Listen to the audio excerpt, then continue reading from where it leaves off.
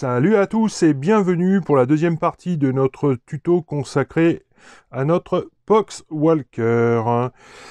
Bon, et eh bien écoutez, nous allons commencer donc cette deuxième partie avec le Zandri Dust.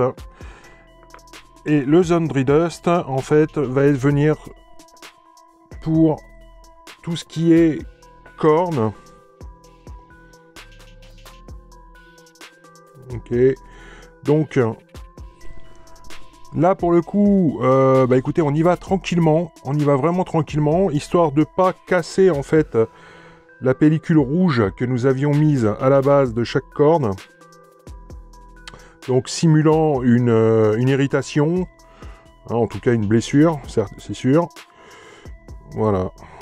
Donc on va venir faire ça. Nous allons venir également traiter dans le dos du perso tout ce qui est hop là tout ce qui est donc colonne vertébrale hein, donc tout, ben, en fait on va traiter tout ce qui est ossement au final hein.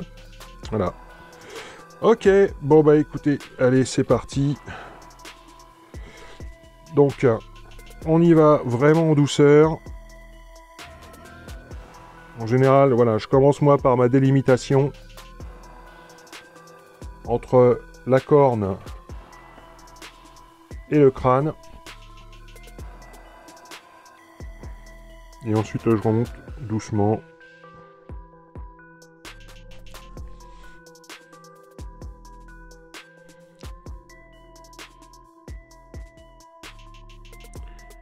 Voilà. Bon bah écoutez, on se fait notre base euh, de Zandri Dust pour nos cornes, pour nos ossements. Et on se retrouve tout de suite après.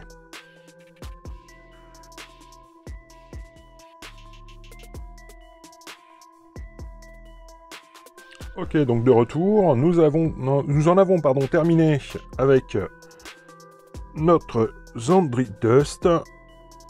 Donc toutes les cornes ont été faites, y compris le marquage au niveau de, de la colonne vertébrale. Je ne sais pas s'il va me le mettre. Ok. Voilà.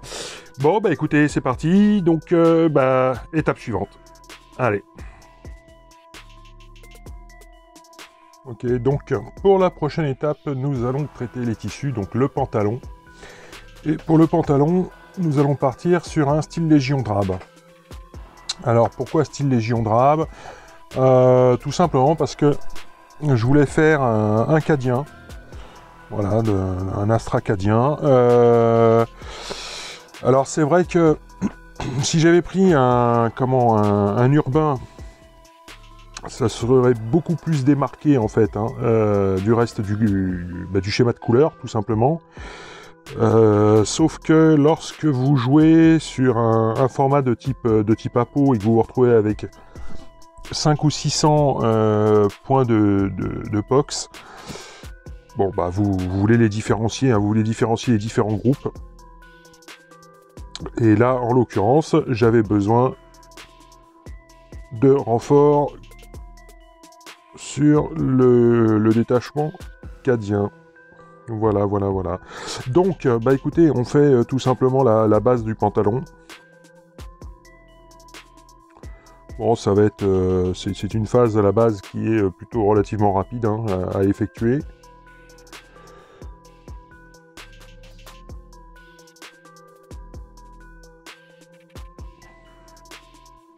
Alors c'est vrai qu'aujourd'hui, pour différencier les, différents les différents euh, comment groupes quand on a une quand on a une armée de masse. Euh, c'est vrai qu'aujourd'hui il y a des petits socles, enfin des petits euh, des petites accroches qui viennent se mettre sur le sur les socles de couleur. je ne citerai pas la marque parce que je suis pas là pour ça. Mais c'est vrai que c'est plutôt, plutôt bien pratique. Mais moi j'ai opté pour cette solution là. Déjà, ça permet d'économiser, enfin bon, c'est pas ce que ça coûte non plus, hein, mais ça permet d'économiser en fait tout simplement sur ces, sur ces curseurs. Et puis au final, je trouve ça, euh, je trouve ça plutôt très sympa en fait, d'avoir euh, différentes tenues. Euh. vous pouvez vous raconter une histoire, hein dans le sens où vous pouvez vous dire bon bah voilà quoi, ce sont des pauvres gars qui se sont fait choper, qui sont fait choper sur le front, un, avant-poste un peu isolé, et puis puis voilà quoi. donc ils sont restés ensemble, même même même dans la misère. Bon, euh, alors par contre, ne pas hésiter, ne pas oublier, pardon, euh, le revers du, pantalon, hein, au-dessus de la ceinture. Voilà. Bon, on peut y aller sur la ceinture, de toute façon, on sera sur un cuir plutôt très foncé. Euh, puis bah voilà quoi. Ok? Bon, bah écoutez, on se fait le pantalon et on revient tout de suite après. Allez, c'est parti.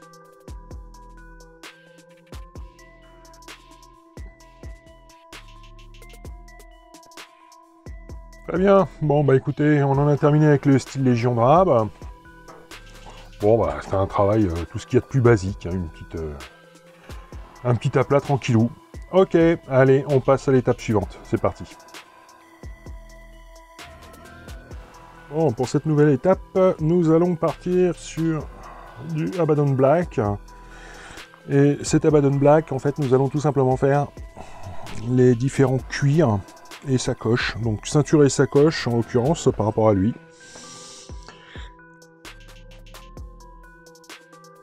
Donc là on va y aller tranquillou, histoire de pas en mettre sur les couleurs que l'on a mis euh, autour.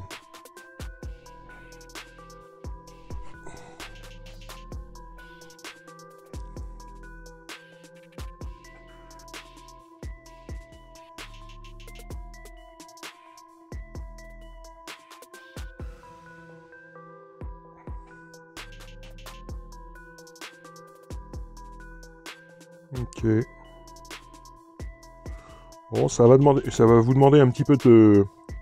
Ça demande un petit peu de précision, un petit peu de finesse, mais bon, au final, ça reste un petit aplat euh, basique. Ok, bah écoutez, on fait ça, et on se retrouve tout de suite après. C'est parti.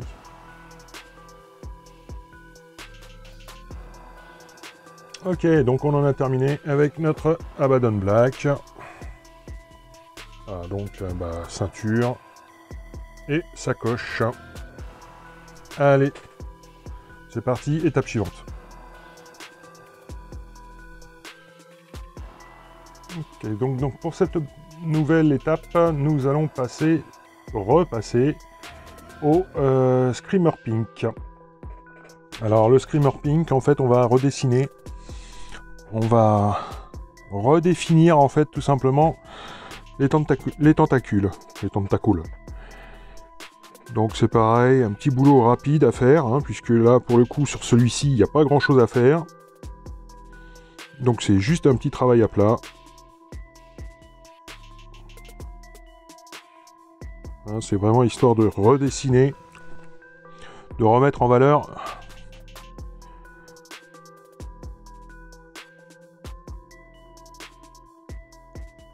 les tentacules. Ok. C'est plutôt rapide. Hein.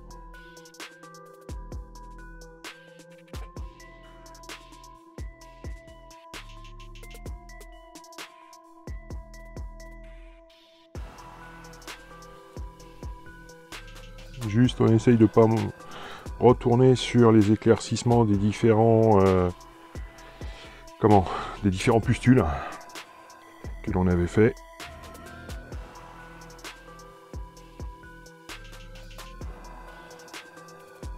D'aller sagouiner l'effet pourriture de la barbaque. De,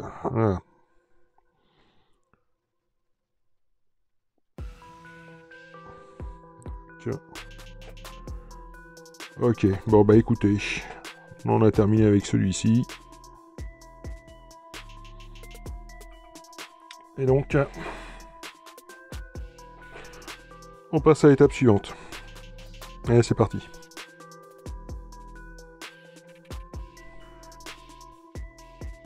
Ok, donc pour cette nouvelle étape, nous allons partir sur un petit mix, euh, sur un mix de Rhinox Hide, et d'Abaddon Black.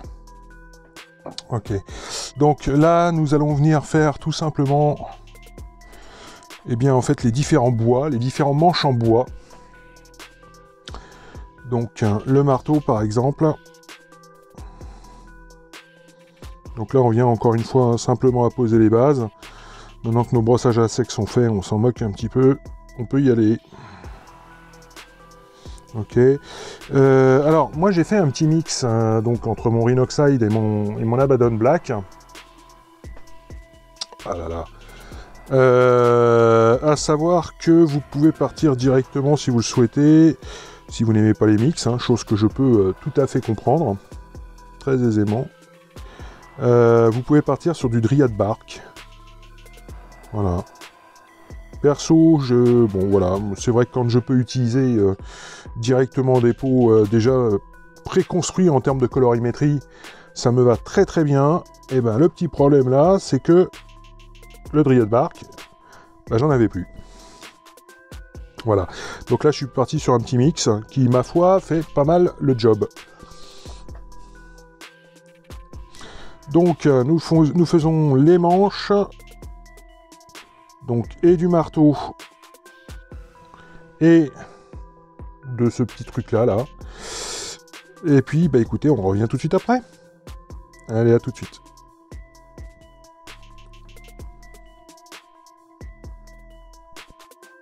Ok, donc euh, notre petit mélange, c'est terminé. On l'a mis. Voilà un petit peu ce que ça donne.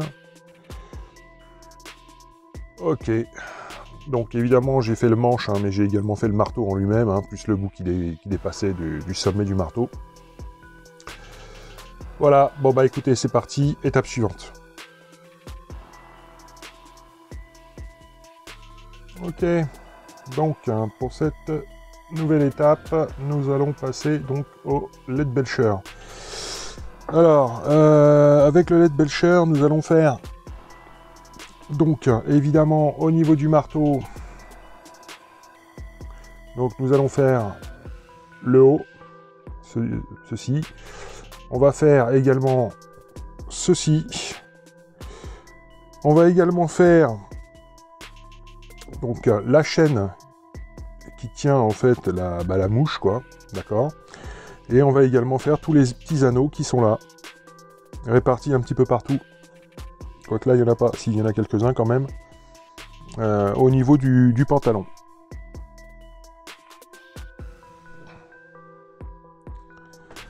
Allez, c'est parti.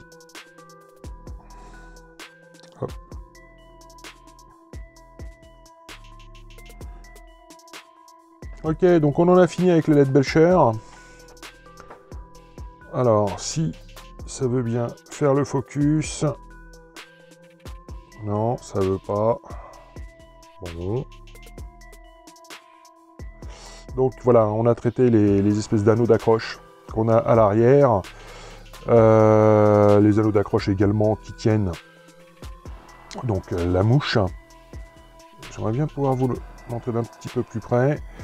Euh, donc évidemment l'arme, le, bas du, marteau, machin, truc, ok. Alors, euh, non, en fait, on n'en a pas fini avec la peinture de base, hein, je vous ai un petit peu menti. Parce que je viens de percuter qu'il manquait un truc. Un tout petit truc en bronze. Bah, en fait, il s'agit de la mouche. La mouche qui est accrochée au pox. Oh Là, voilà, juste ici. Ok, bah écoutez, on se fait la petite mouche et et après, on va attaquer le vif du sujet. Allez, c'est parti. Bon, donc pour cette dernière couche de base, nous partons sur du Balthazar Gold. Allez. Bon bah là il n'y a pas grand chose. Ça va durer deux petites, deux petites secondes. Il s'agit en fait tout simplement de faire eh bien, notre mouche.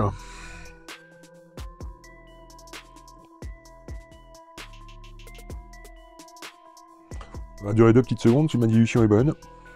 Comme d'hab.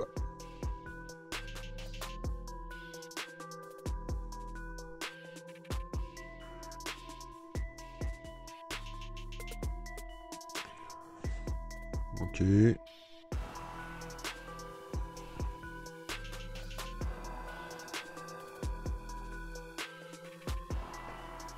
Si je suis cadré, c'est encore mieux.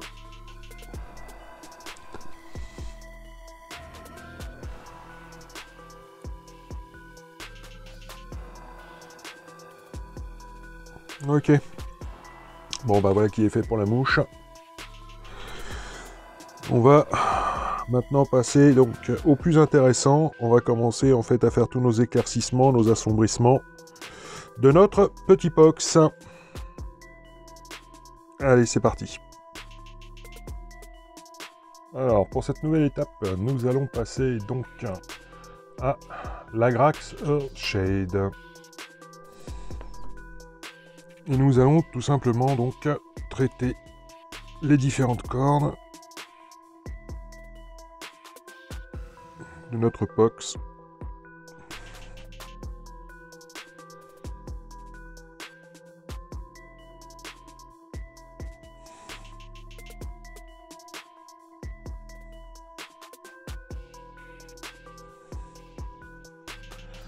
en général, j'hésite pas à charger.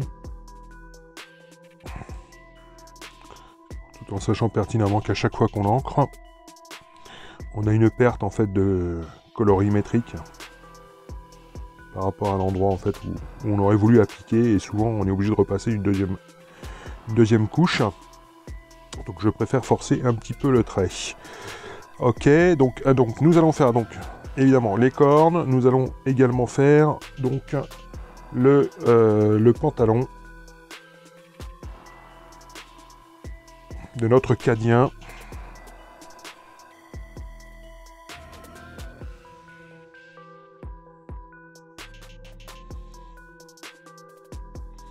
Ok, bon bah écoutez, on fait ça et puis on se retrouve tout de suite après.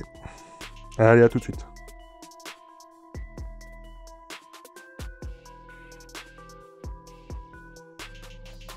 Ok, donc on en a terminé avec notre Agraxer Shade. Voilà, on a badigeonné donc les cornes, le pantalon de notre box. Bon bah écoutez, on laisse sécher tout ça, on voit ce que ça donne. Et on passe à l'étape suivante. C'est parti.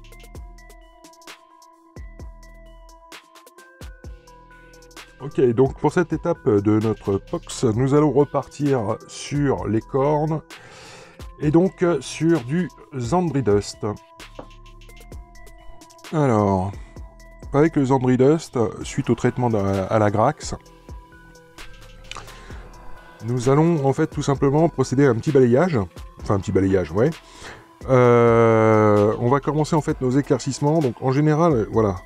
Donc moi je commence, je fais, des rotations en fait hein, avec, la, figurine, histoire de pas me louper. Ok. Je fais ma première rotation par vis-à-vis du au sommet en fait de cette corne. Ok. Et ensuite, je vais revenir un petit peu plus bas. Reprendre tout simplement. Alors, en fait, on a, on a plusieurs coloris hein, sur, la, sur la corne déjà. Puisque nous avons... Je sais pas si... Voilà. Donc, nous avons en fait la base de la Grax qui est à ce niveau-ci. Nous avons donc très marron foncé. Nous avons notre Zandri Dust qui avait été donc pareil à la Grax mais de façon un petit peu plus claire. Hein, là, euh, bois d'arbre, comme on dit. Euh, et là, avec le Zandri, en fait, on va venir, on va pas venir recouvrir le plus clair de la corne. On va tout simplement redescendre en laissant en fait cette teinte euh, de comment de, liaison au final. histoire de ne pas faire en fait de comment de de, changements trop rapides en termes de teinte. Alors évidemment, on va descendre plus ou moins loin, plus ou moins bas, pardon, selon les nervures.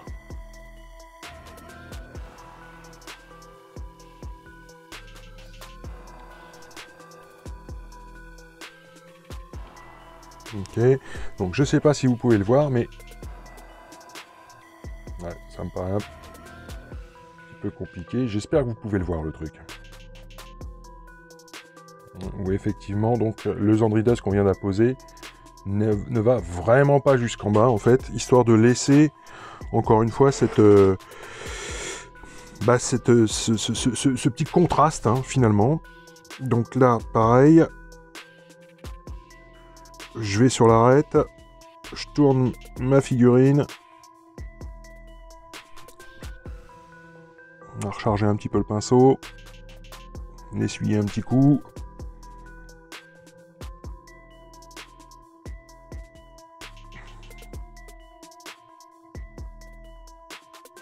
Ok.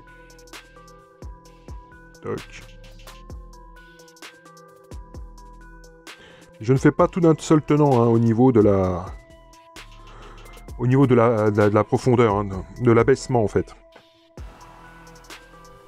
Ok, donc là pareil.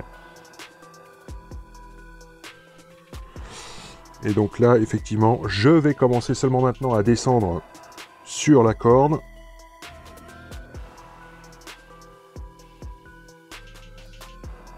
Remarquez vraiment les points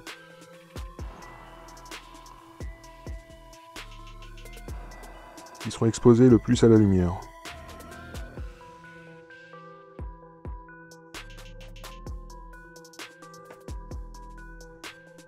Ok, donc l'intérieur, même procédé. Donc là, j'y vais avec la tranche du pinceau, comme si je voulais, comme euh, pour faire comme, pour faire un lining, hein, pardon, comme pour faire un lining, tout simplement.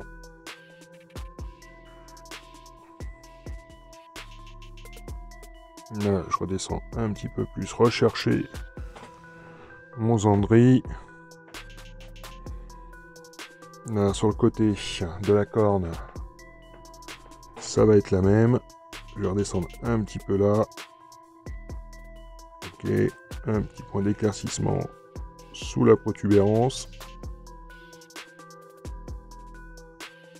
je reviens lisser derrière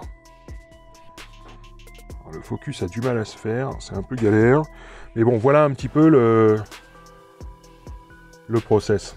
Ok, et eh bien écoutez, je m'occupe de toutes les cordes, et on revient. Allez, à tout de suite.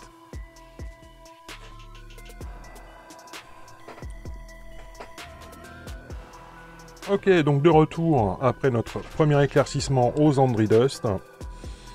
Voilà, voilà un petit peu le résultat obtenu. Alors, petite précision tout de même. Euh, une fois que le premier passage, premier et deuxième passage ont été faits au niveau du Zandri Dust, euh, j'en ai repassé en fait un troisième sur le à peu près le tiers supérieur de la corne, histoire de rééclaircir encore un petit peu plus euh, par rapport en fait aux, premières et deuxième couches de Zandri Dust à poser. Voilà, voilà qui en termine avec cette étape. Allez, c'est parti pour la suite.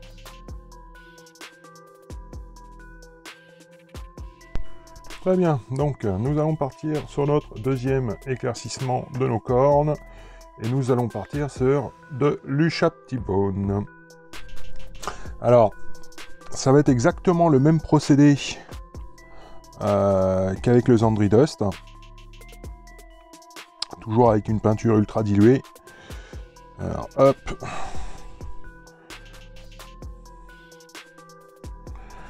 Ok. Sauf que nous allons tout simplement partir de, de plus haut. Donc pareil.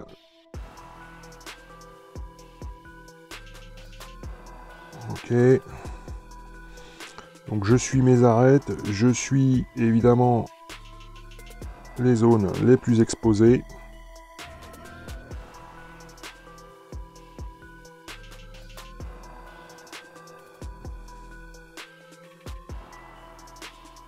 Avec ce principe en fait de, tourner la figurine au fur et à mesure. Histoire d'avoir en fait une, bah, tout simplement une vue globale hein, euh, de notre éclaircissement.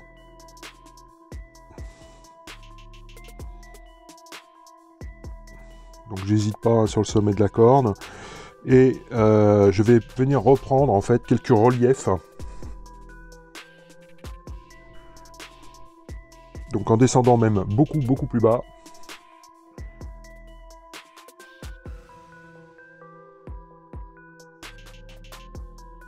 Ok.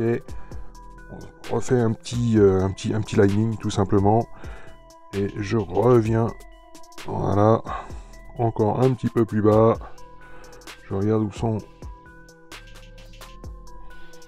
Mais oh là là, bon, j'ai du mal avec mon, mon focus. Et je reviens en fait là, un petit peu trop chargé. Ok, et donc on va, faire ça sur l'ensemble évidemment des cornes. Ok? Bon bah allez. On se fait ça. Et on revient. A tout de suite.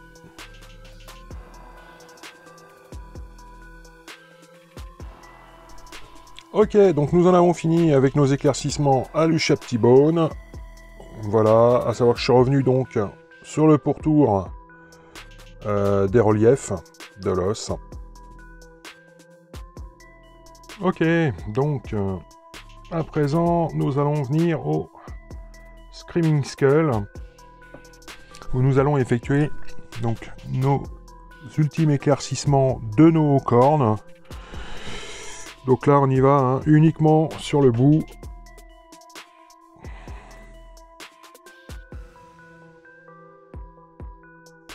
C'est vraiment histoire de donner une dernière pointe, euh, dernière pointe de lumière. Hein.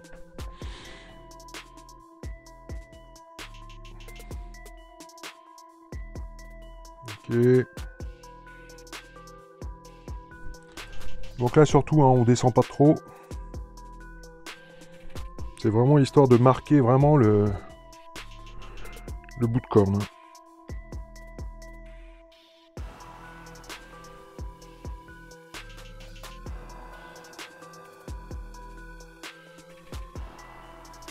Donc on fait ça sur toutes.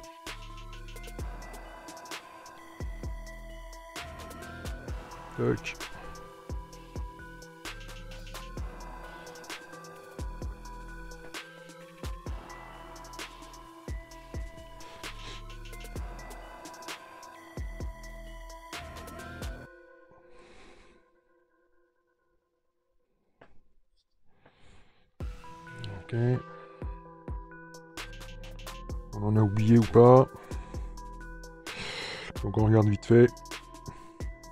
La petite qui est là. Entre deux.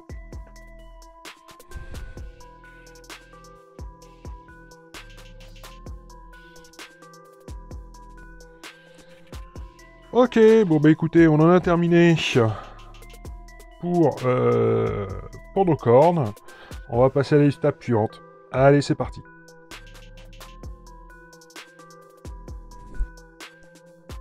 Ok, bon, bah écoutez, maintenant, on va s'attaquer euh, au tentacle. Donc là, on va utiliser une méthode à deux pinceaux. En fait, on va essayer de travailler dans le frais, tout simplement. Alors, euh, on part sur du Screamer Pink. Et, et, et, un bon vieux pot des années 90, 2000 peut-être.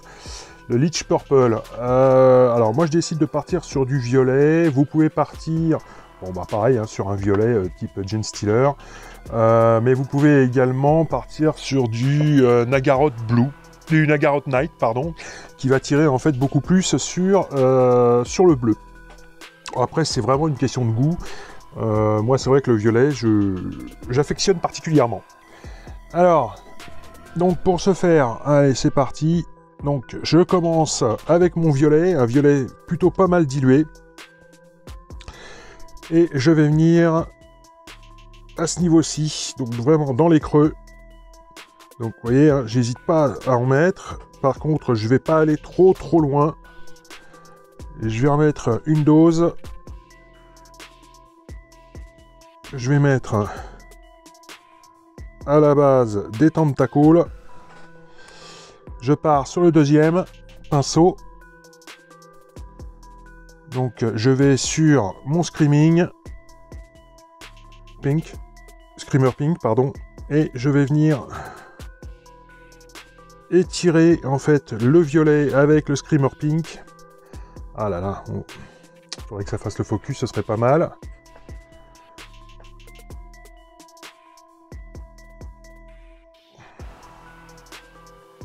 Bon, c'est un jeu de rapidité aussi. Hein. Euh, sinon ça part très très vite en vrille. Ça sèche trop vite, donc là vous voyez je reprends, je vais rechercher du violet, que je vais rebadigeonner. Ok. Donc euh, pas le temps d'essuyer le pinceau euh, ni quoi aux caisses. Je repars sur mon screamer pink. Et je réétale mon violet.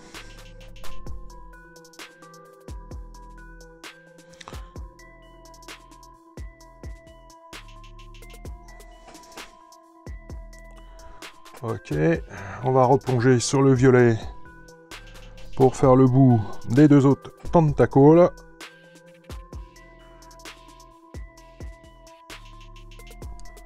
Ok, partir dans les creux, parce que c'est quand même le but. Et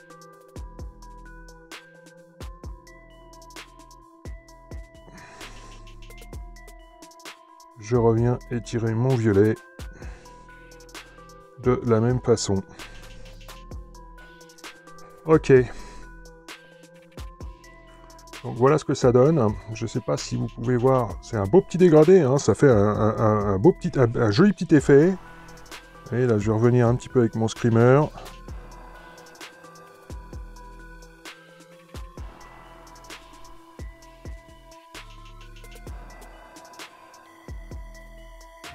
Ok. Donc euh, je vais vite fait nettoyer les pinceaux.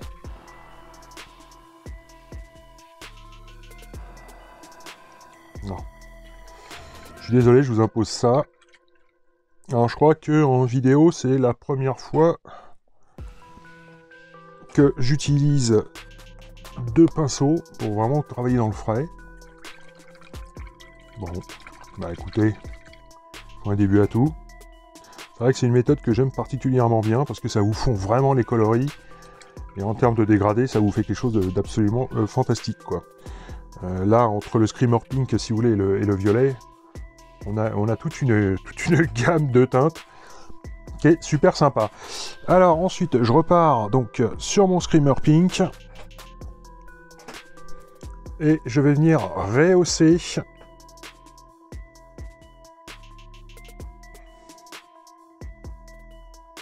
là où j'aurai mes points de lumière.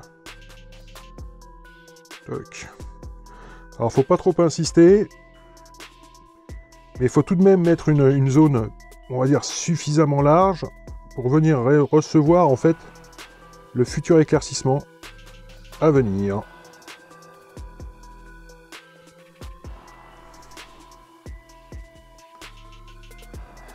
Ok, donc voilà un petit peu la base de nos tentacles. Là, je vais revenir un peu avec le Screamer Pink. Le violet est un petit peu trop marqué à mon goût.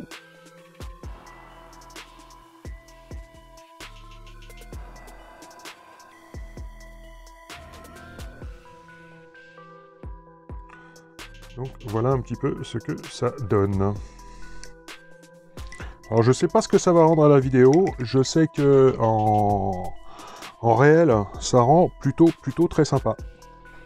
Alors, j'ai... Alors, attendez, parce que j'en ai fait un autre, évidemment. Avec un peu plus de tentacles. Et voilà, en fait, euh, ce que ça donne. Donc, on a toute une variante, en fait, dans les roses et les, et les violets. Et là-dessus, on va venir rééclaircir euh, la bestiole. Bon bah allez, c'est parti alors. Étape suivante. Donc, la prochaine étape concernant nos tentacules, nous allons partir. Moi, je pars sur du Tentacle Pink. Bon, voilà, ça, ne s'invente pas.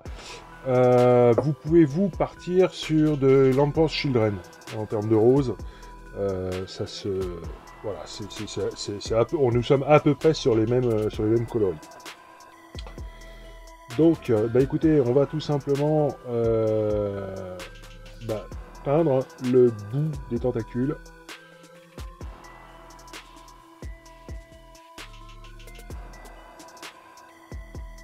Donc là, je suis sur quelque chose de plutôt, plutôt beaucoup dilué. Hein. Euh, si je peux vous donner une petite... C'est... Ouais. C'est presque de la flotte. Ok, donc...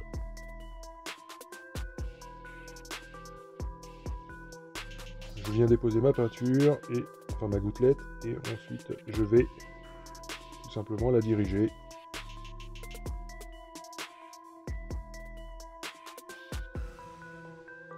vers l'endroit que je souhaite.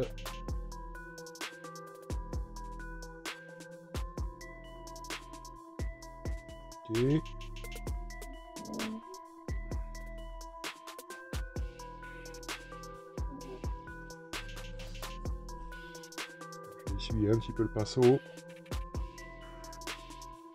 Je vais l'humecter en fait, hein, plus exactement.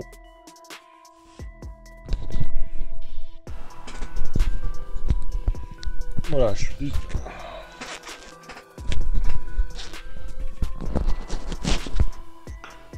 Ok, donc alors, petit problème euh, en termes de, de son. Je viens de remarquer que j'avais un petit souci sur le micro, donc je viens de changer le truc. Je suis désolé, donc je disais en fait tout simplement euh, le Tentacle Pink, vous pouvez le remplacer par de l'Emperor Children. Euh, sur une peinture très très diluée, en fait, je vais venir chercher le bout des tentacules.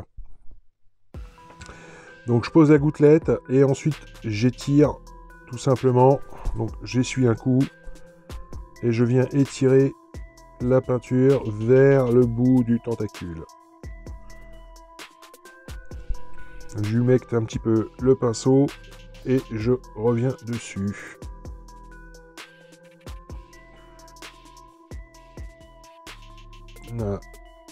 la même.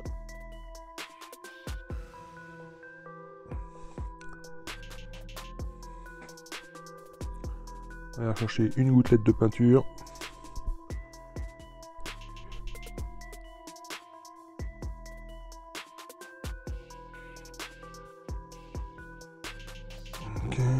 Faire le bout plutôt franc. En fait, là, nous avons trois tentacules en tout et pour tout qui vient enserrer euh, bah, le manche de la, de la masse.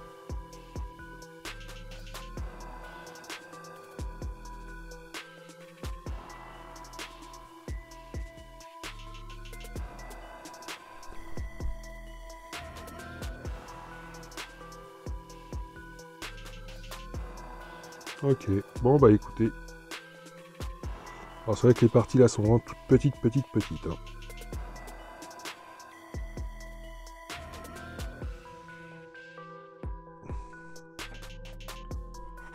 Bon, et eh ben écoutez, on va s'arrêter là. Et je vais revenir dessus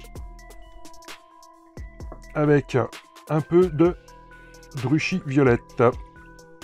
Donc on va lisser tout ça. Alors un petit peu dans le frais, c'est pas bien grave, au contraire. Ça ne fera que renforcer tout simplement le... Eh bien la... comment dirais-je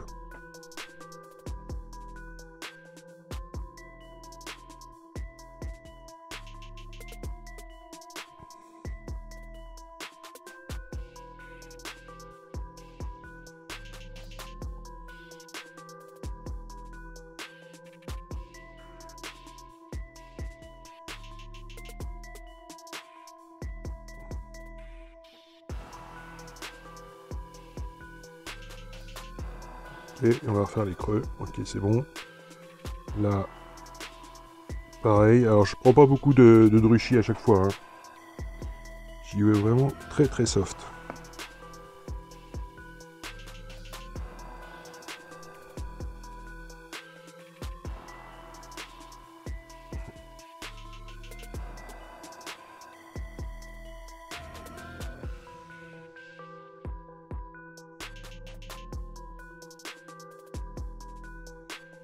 Ok, bon bah écoutez, ça me paraît pas mal, on va s'arrêter là. Et eh bien voilà qui conclut la deuxième partie de notre tuto consacré à notre Poxwalker. En espérant que la vidéo vous ait plu, si c'est le cas, à poser un gros pouce bleu, ça fait plaisir et ça motive, à partager la vidéo, à me lâcher un commentaire et bien sûr à vous abonner. Sur ce, je vous dis à très bientôt les nains, ciao ciao